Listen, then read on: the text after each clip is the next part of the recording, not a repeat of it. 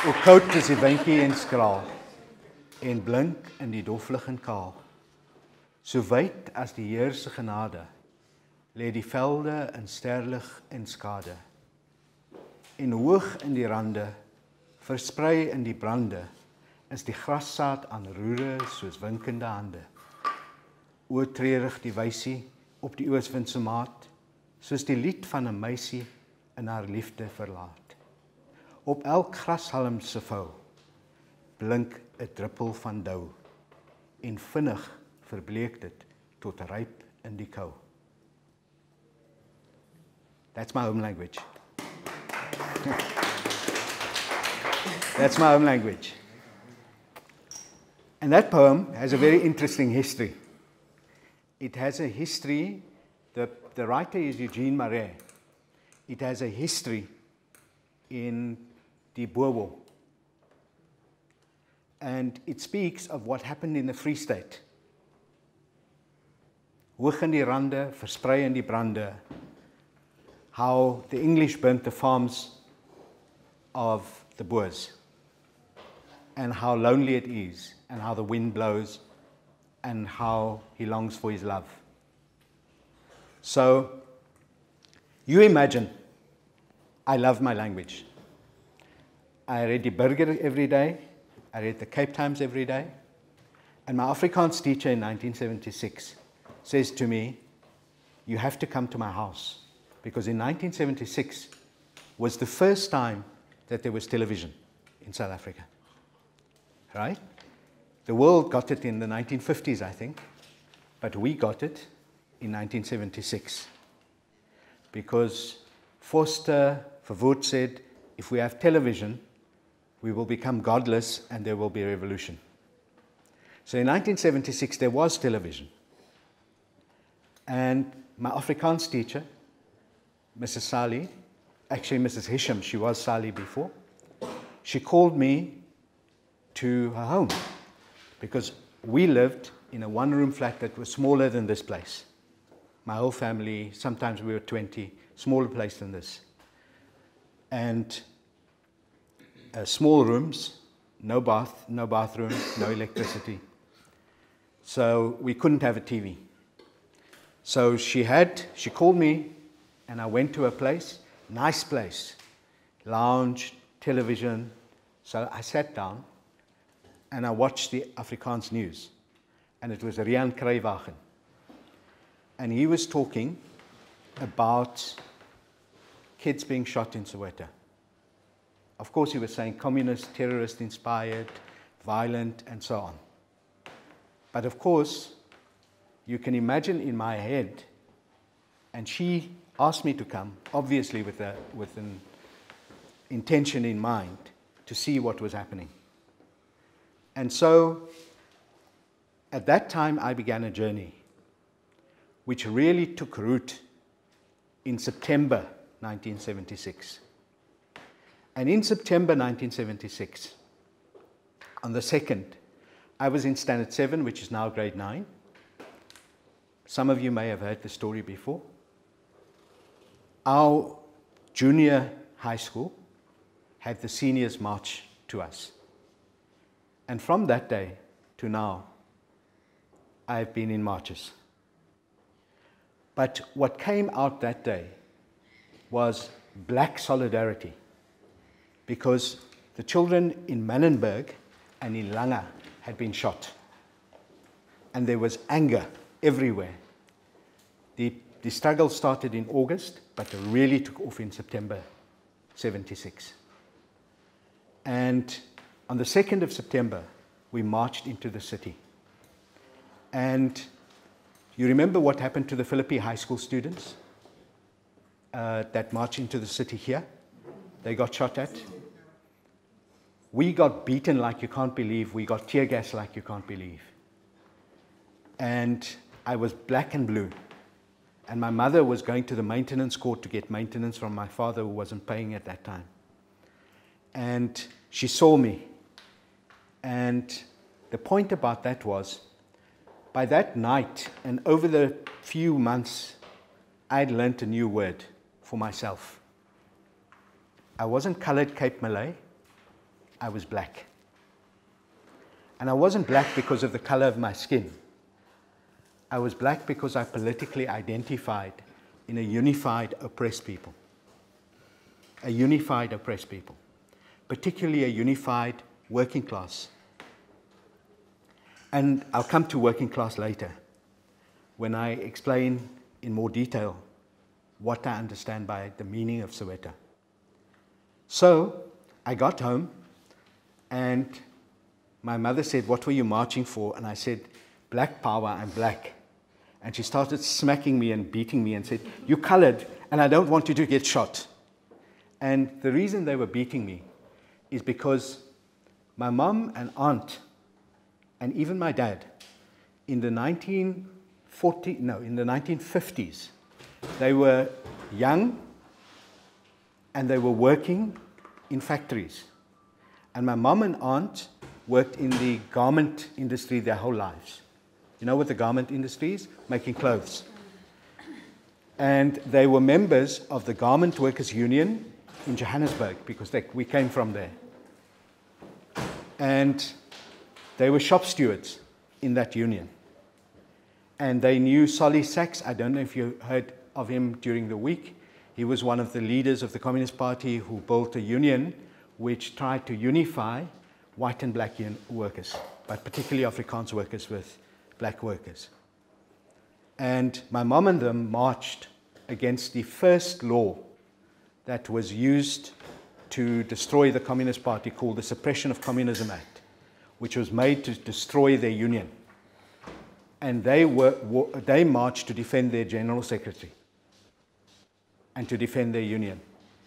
And then they lived through the 60s.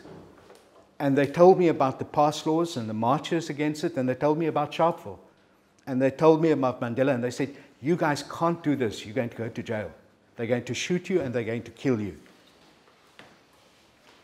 And they beat me on behalf, not because they were beating me on behalf of the state, but they were beating me to try and protect me. That is where I started 1976. So I want to take you a little bit back, just a little bit.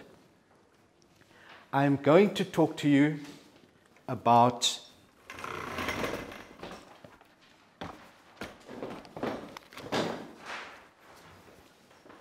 what I call schools of freedom.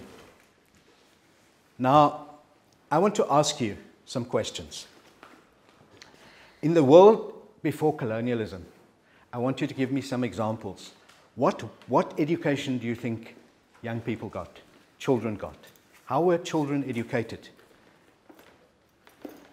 Because I'm sure you heard about property and I'm sure you heard about um, land, but did you hear about the people who actually lived and how children and youth like you and young adults like you, how they lived and how they got educated? Who wants to try? Boys and girls, how are they educated? From what like uh, I'm told at home, like the um, grandmothers and the mothers are the teachers. Uh, they would teach you how um, a girl's supposed to do certain things, and you as a boy, this is what you have to do. And uh, as like you grow up, uh, they, you would go with, uh, for example, for boys, uh, they would you would go with uh, the ones that are herding cattle, and they would teach you how to do things. And the women are actually the one who are teaching uh, the kids like the way of life. Like this is how we do things. And who wants to volunteer what girls learned? Yeah, to respect, to to behave the, the, the, the way the woman behave, how to, how, how as a woman you should behave because you're not a man. Yeah, things like that. So you were trained how to be a wife if you were a girl? Because a wife had many duties to have more children, but also to work the land, to cook, to clean. And the men did what that chap was saying over there lie under the tree and smoke. Uh, no, um, and the men were herding cattle, which always is much easier work. Am I right? Yeah. It's easy work compared to women's work. You work the land. And you see how hard that is.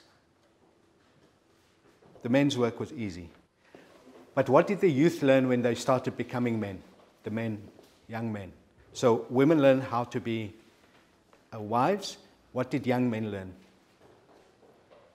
how to follow their father's footsteps and how, how to, to, to use sticks, like they, they to fight with sticks, how to, to, to, to, to know their own clans, to, to, to how to how does the family tradition uh, being run. Uh, in, in, let's say if the father passed passed away, then he has to carry the tradition of the family, as, especially to those first boys. Amabutho. Mabuti, yeah. What's it? Okay, okay, let's only go first. Okay, for, okay, I will go let Sandile or I, I should. Sandile. Yeah. Well, uh, Amabut actually i i it's the warriors. So um, as, as as a young boy, you would go from herding cattle where they start to train you uh, how to fight. And then you start with stick fighting, and then you go to bull killing by hand, and then spear and shield. Yeah? So you see how people were schooled. And then when colonialism came, right? So I'll start a little bit with my own history or, or my family history. Um, I don't believe I'm, I have any land. I don't believe I belong anywhere in the world. This is my home. But I also believe the world is my home. And I'll tell you why now. I'm black, but my ancestors come from Malaysia, Indonesia, India, Germany, and Ireland. That's where my ancestors come from. The Malaysians and Indonesians came here as slaves, right? They came here as slaves. They were brought by the Dutch East India Company. And then with them came, oh, and my African ancestor, which is very important, Mozambican, which is my great grandmother, was Mozambican slave, brought here. So, under slavery and colonialism here, we must remember this is the city that is the home of our colonization, of our conquest, and of our unity as a country. Children were regarded as property, slave children, like, like adults were regarded as property. You were taken away from your parents so that no emotional bond could form between you and your parents, and you were sold off to go and work on a farm, largely on farms, or for the government in doing stuff like building or whatever. But mainly farm work and household work to clean homes um, and carpentry and so on. So the question about slavery is you got whipped as a property. Like if the donkey doesn't want to do something or the ox doesn't want to do something, they whip you. So the education that was received was how to be a slave, not how to be a human being. White children, very interestingly, didn't go to school. They didn't go to school. Poor white children were the majority. They got educated in the same way as farm worker kids get educated now. Beaten at home, work on the land, and church. And in the church, you got preached to. In Sunday, Sunday school, you got preached to. You didn't get learn to read and write. So, until the 1920s and 30s, the majority of white people could actually not read and write. Right? But I'll come back to schools now. The critical thing to remember is that schools arose in South Africa for different reasons. And I'll come back to that when I just take a detour elsewhere. We think it was just like that here. But there's a chapter in Karl Marx's book, The Capital, which is not difficult to read. It's actually one of his easiest chapters to read in Capital. It's called The Working Day. And it speaks about how workers worked in Europe. But you know how old workers started working? At what age workers started working? A guess. 16. In factories, in mines, seven. Seven years. Seven. And how long did they work? 18? 18 hours. Sometimes there was a children's commission that showed that children worked 24 hour shift twice in a row. So 48 hours the kid would work, then take a day off or part of a day off, and then come back to work. Those were the white children. White children in Europe. They were not, they were, they were not the people who colonized us, because the people who made the wealth from them, they led the colonization and later convinced them to colonize us. The struggle to get decent education, quality education, came out of the socialist movement, out of the churches, and from liberals. So trade unions struggle for the right of working class children to be educated. Socialist parties demanded universal education for everyone. Liberals said people ought to be enlightened. And the churches, the liberal churches, supported education because they wanted people to be godly.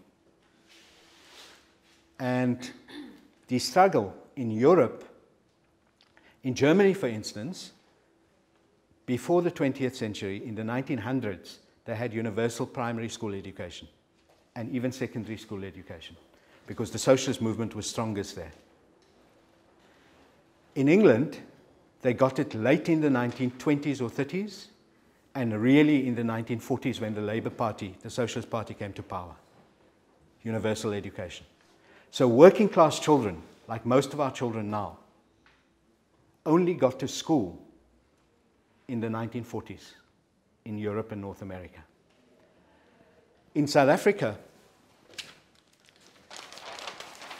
I'm going to come now. I want to, I just want to introduce some concepts before I go to South Africa.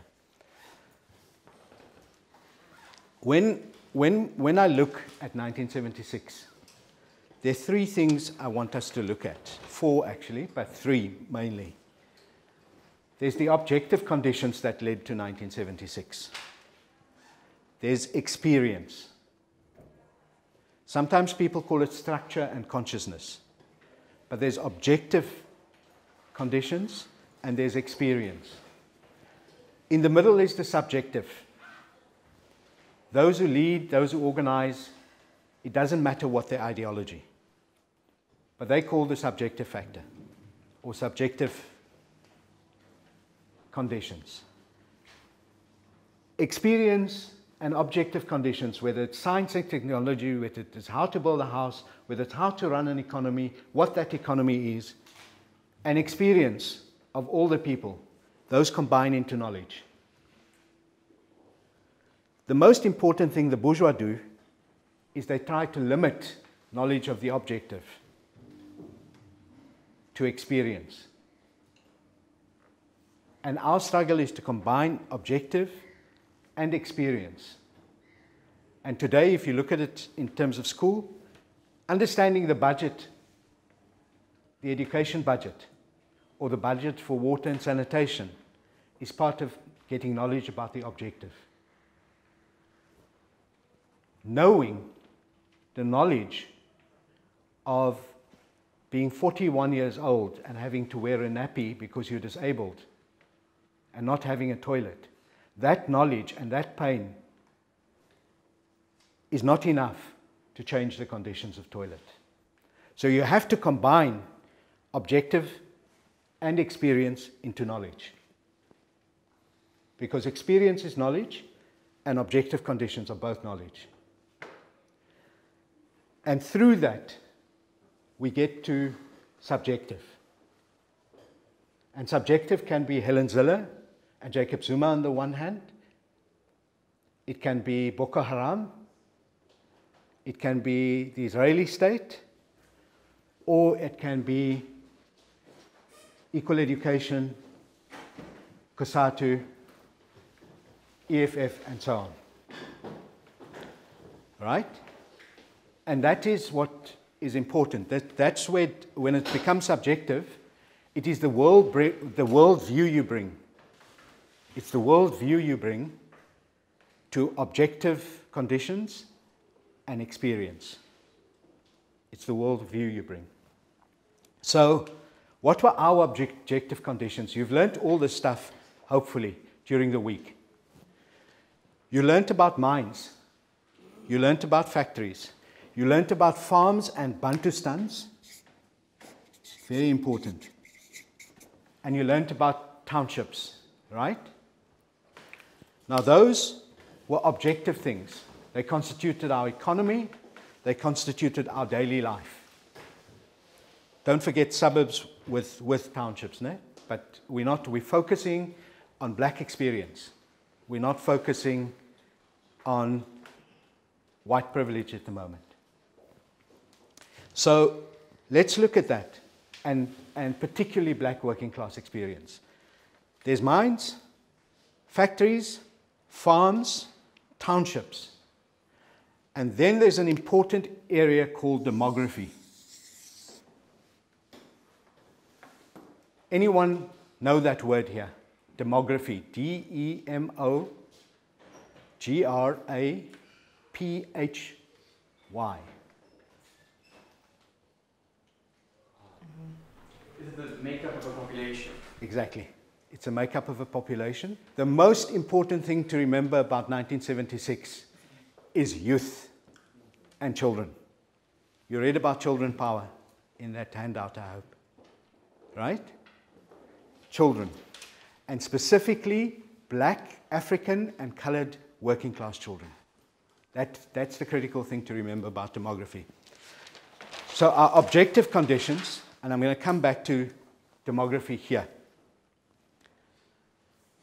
I want to discuss experience in the Bantustans and on the farms of children.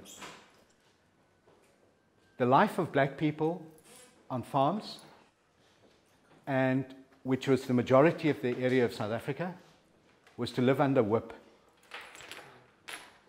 largely, in extremely difficult conditions. The life of children was to work on the farms, right? And almost never to go to school. You're lucky if you got to a church school. Colored children here were paid in wine for their family while they worked on the farms. Right? So then the question of Bantustans under apartheid. What happened to children there?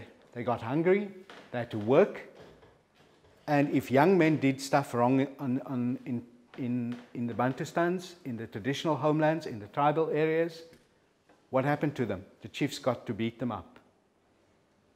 Right? So the experience of youth was very, very difficult.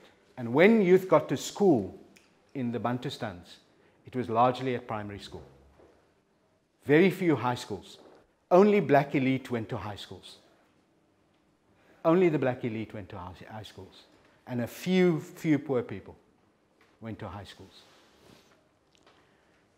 Mines, the experience of young men on the mines.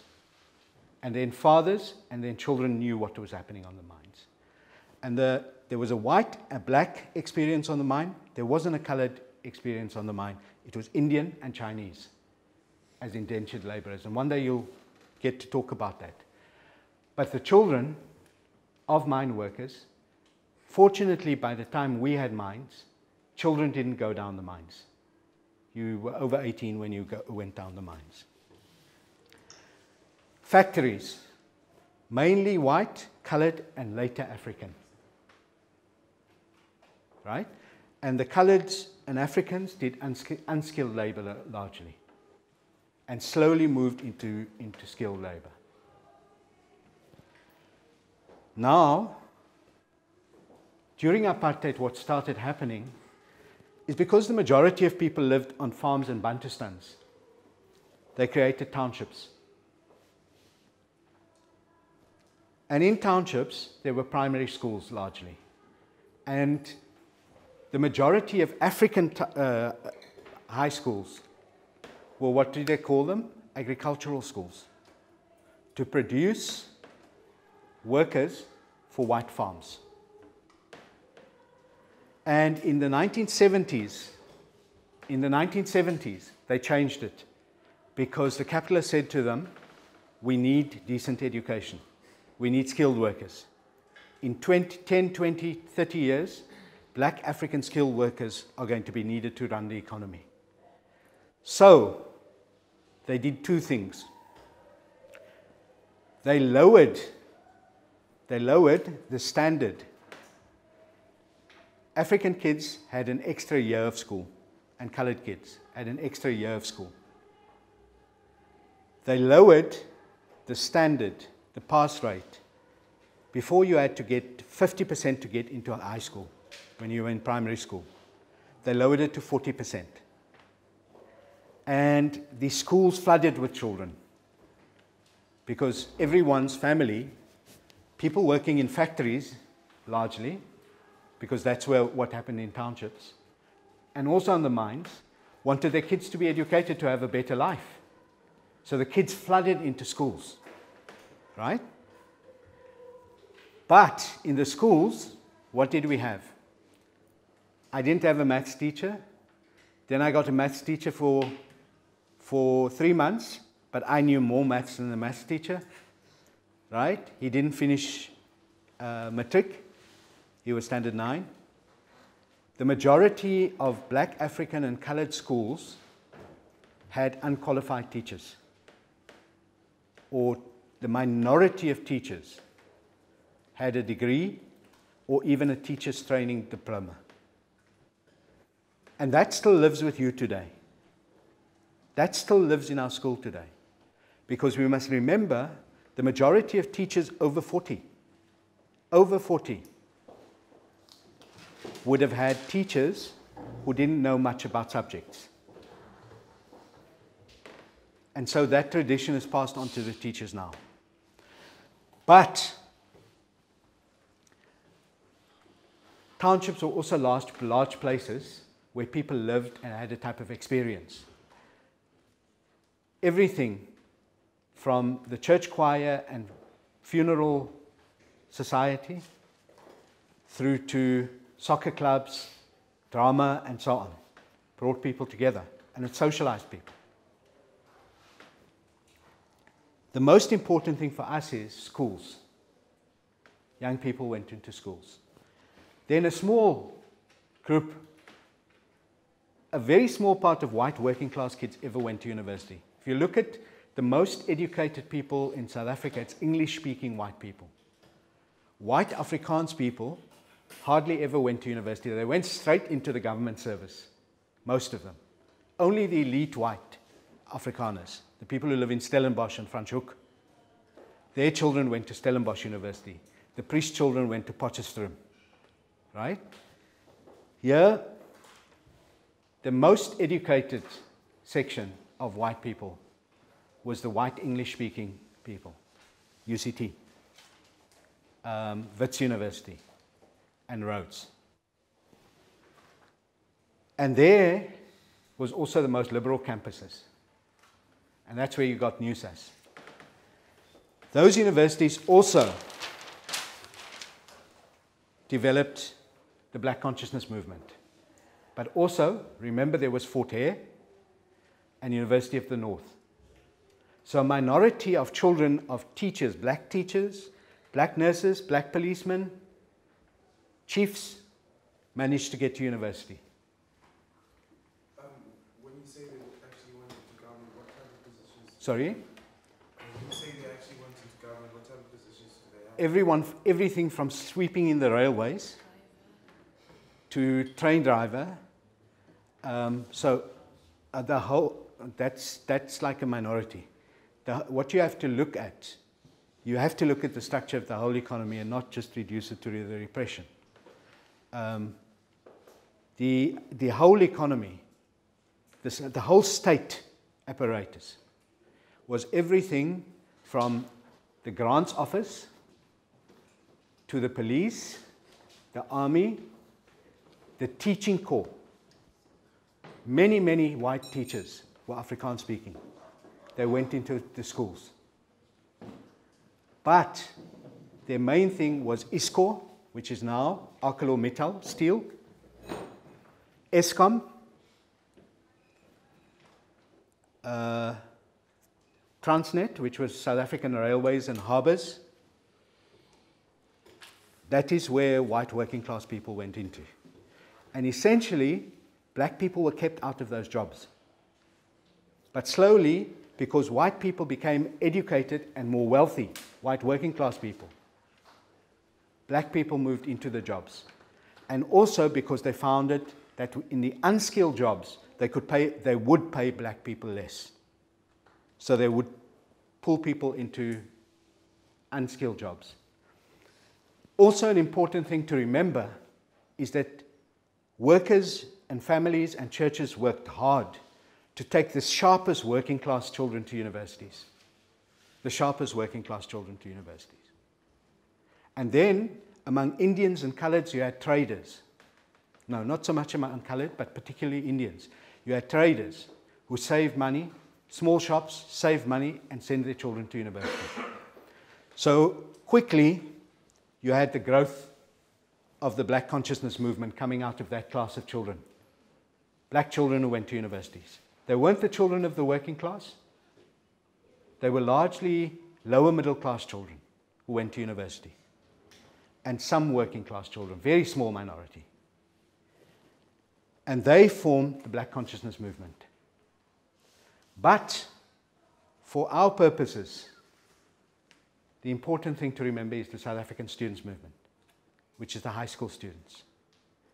And even though it was no bigger than equal education is today, it may even have been smaller. Let me tell you, it didn't have money to organize, it didn't have facilitators, it didn't have staff, it didn't have a building. It was a movement. And you guys are too lazy, you need a movement. you are too lazy, you need a movement.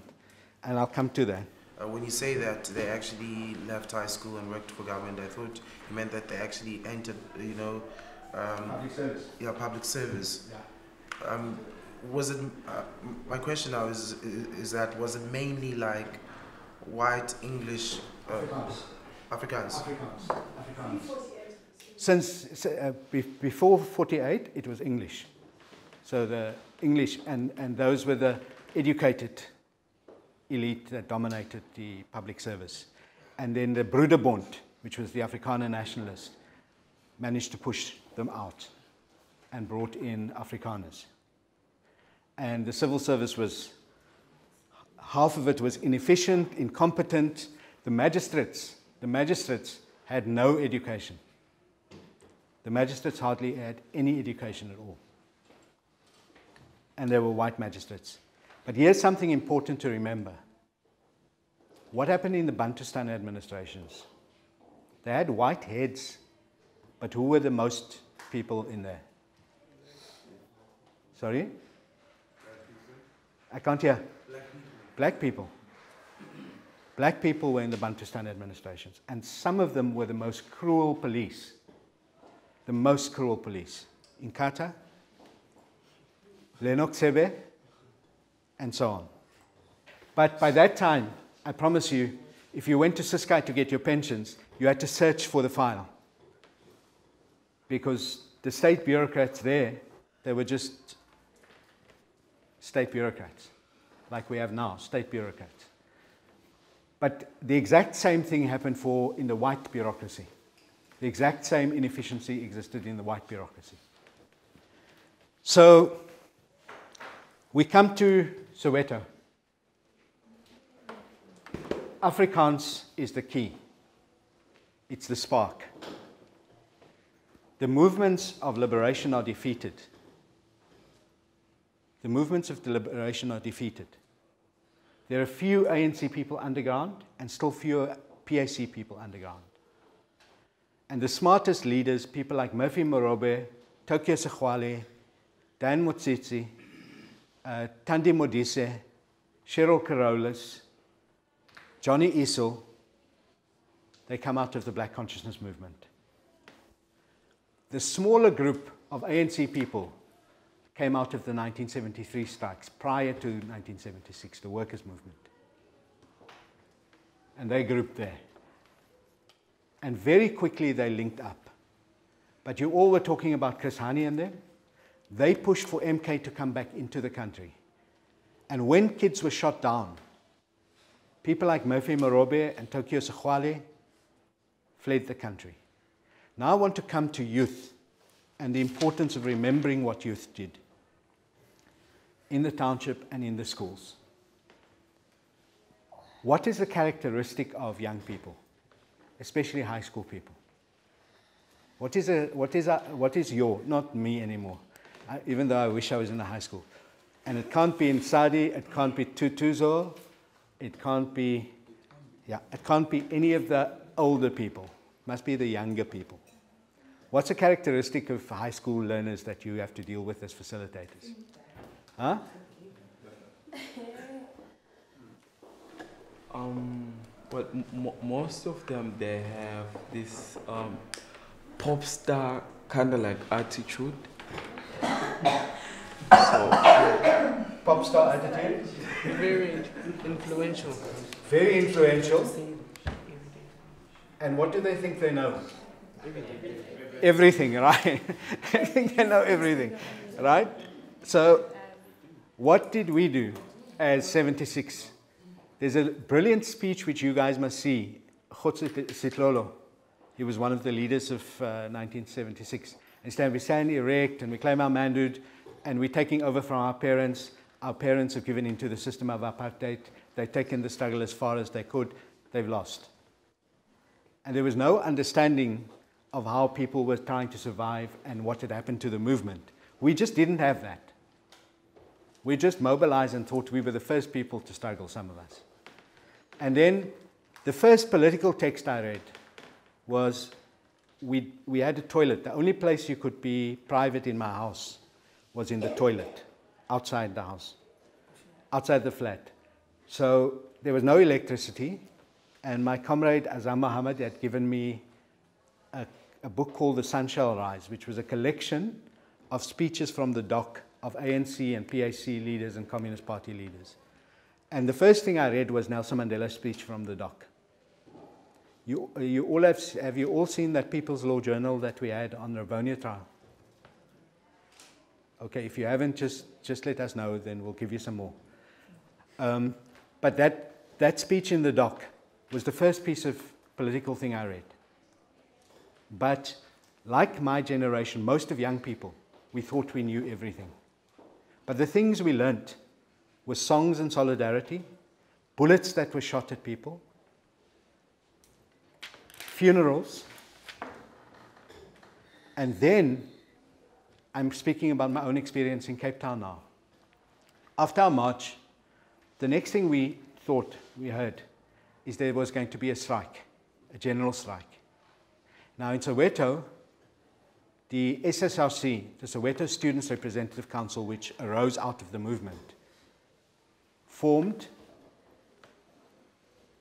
called for a rent boycott because people were paying rents for their houses.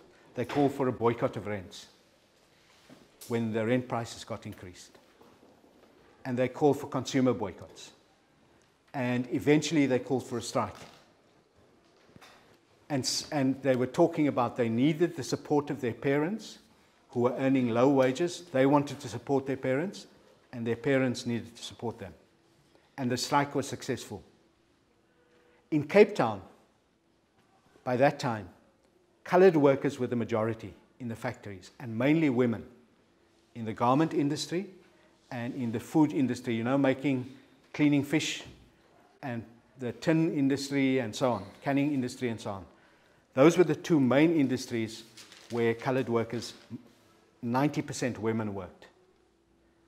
Um, and then there were shop workers and stuff like that. A minority of African workers worked on the docks as stevedores where they, you know, those ships that get loaded that take goods overseas, that's where the majority of African workers work, and also in places like the abattoirs. And the division between colored and African people is very big in Cape Town, and it still is very big.